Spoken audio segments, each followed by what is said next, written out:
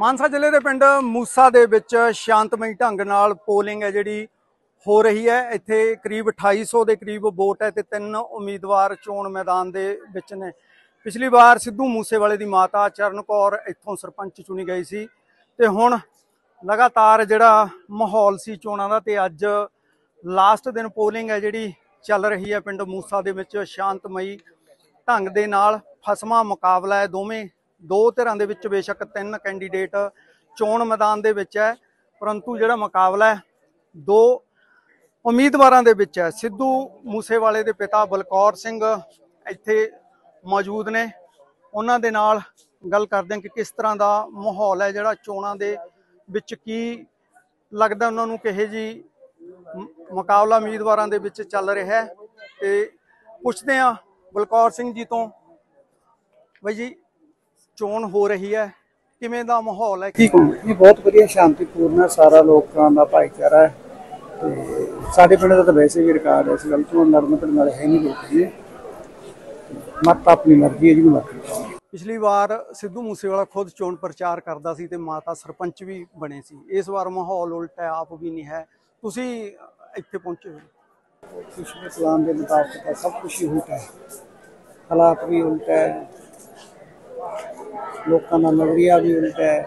ਲੱਗਦਾ ਲੱਗ ਰਿਹਾ ਦੇਖਣ ਨੂੰ ਹਾਲੇ ਮੈਂ ਕਹਿ ਨਹੀਂ ਸਕਦਾ। ਪਰ ਕਾਫੀ ਕੁਝ ਬਦਲਿਆ ਹੈ। ਤੇ ਕਿਹੋ ਜਿਹਾ ਸਰਪੰਚ ਹੈ ਜਿਹੜਾ ਲੋਕ ਚੁਣਨਗੇ ਮੂਸੇ ਪਿੰਡ ਤੋਂ ਜਿਹੜਾ ਤੁਹਾਨੂੰ ਲੱਗਦਾ?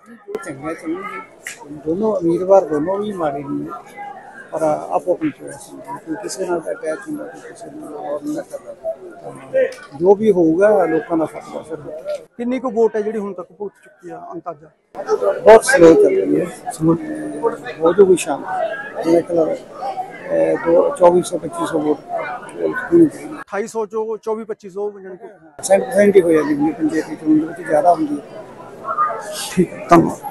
ਵੇਖ ਸਕਦੇ ਹੋ ਸ਼ਾਂਤਮਈ ਤਰੀਕੇ ਦੇ ਨਾਲ ਚੱਲ ਰਹੀ ਹੈ ਸਿੱਧੂ ਮੂਸੇਵਾਲੇ ਦੇ ਪਿਤਾ ਨੇ ਕਿਹਾ ਕਿ ਪੋਲਿੰਗ ਹੈ ਜਿਹੜੀ ਸਲੋ ਹੈ, ਬੇਸ਼ੱਕ ਪਰੰਤੂ ਸ਼ਾਮ ਤੱਕ ਹੈ ਜਿਹੜੀ ਉਹ ਭੁਗਤ ਜੂਗੀ ਵੋਟ। ਦੇਖ ਸਕਦੇ ਹੋ ਕਿ ਤਸਵੀਰਾਂ ਲੰਮੀਆਂ ਲਾਈਨਾਂ ਹੈ ਜਿਹੜੀਆਂ ਮੂਸਾ ਪਿੰਡ ਦੇ ਵਿੱਚ ਲੱਗੀਆਂ ਹੋਈਆਂ ਲੋਕ ਲਗਾਤਾਰ ਆਪਣੀ ਵੋਟ ਦਾ ਇਸਤੇਮਾਲ ਕਰਨ ਵਾਸਤੇ ਮੂਸਾ ਪਿੰਡ ਦੇ ਸਕੂਲ ਦੇ ਵਿੱਚ ਪਹੁੰਚੇ ਹੋਏ ਹੈ ਤੇ ਬੇਸ਼ੱਕ ਜਿਹੜੀ VOTING ਹੈ ਉਹ ਸਲੋ ਹੈ, ਪਰੰਤੂ ਕਰੀਬ 24-2500 ਵੋਟ ਹੈ ਜਿਹੜੀ ਭੁਗਤ ਜੂਗੀ ਕਿਉਂਕਿ 2800 ਦੇ ਕਰੀਬ ਵੋਟ ਸਿੱਧੂ ਮੂਸੇਵਾਲ ਦੇ ਪਿਤਾ ਬਲਕੌਰ ਸਿੰਘ ਨੇ ਦੱਸੀ ਹੈ, ਲਗਾਤਾਰ ਜਿਹੜਾ ਪਿੰਡਾਂ ਵਿੱਚ ਅਸੀਂ ਮਾਹੌ- ਮਾਹੌਲ ਹੈ ਜਿਹੜਾ ਦਿਖਾ ਰਹੇ ਹਾਂ। ਮੂਸੇ ਪਿੰਡ ਦੇ ਵਿੱਚ ਫਿਲਹਾਲ ਪੋਲਿੰਗ ਹੈ ਜਿਹੜੀ ਬਹੁਤ ਸਲੋ ਚੱਲ ਰਹੀ ਹੈ ਪਰੰਤੂ ਸ਼ਾਂਤਮਈ ਤਰੀਕੇ ਦੇ ਨਾਲ ਲੋਕ ਆਪਣੀ ਵੋਟ ਭਗਤਾ ਰਹੇ ਆ ਬਲਦੇਵ ਸ਼ਰਮਾ ਨਿਊਜ਼ 18 ਮੂਸਾ ਮਾਨਸਾ।